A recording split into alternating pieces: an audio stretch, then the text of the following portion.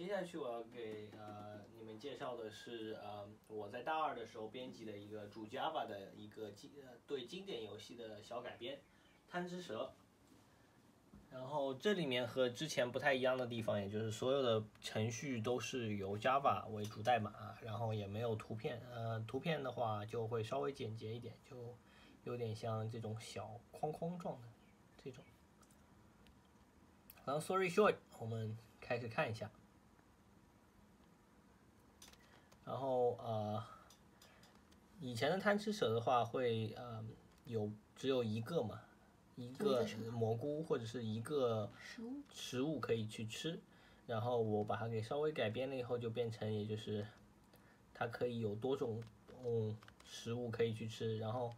每吃一种食物了以后会给你带来不同的影响，就像左下左边这个框框上面显示的一样，嗯。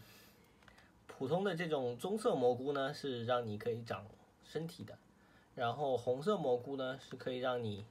以呃无法控制自己，也就是吃好了以后你完全就没办法控制自己麻了，痹了，麻痹。然后呃紫色的蘑菇，也就是吃了以后你就会死，然后红色的蘑菇呢，也就是吃了以后你速度会加快，一般红色的大大蘑菇，小蘑菇了以后呃就会把你给麻痹，然后主要目的就是活下来。这个是一个蛮有意思的呃小改编。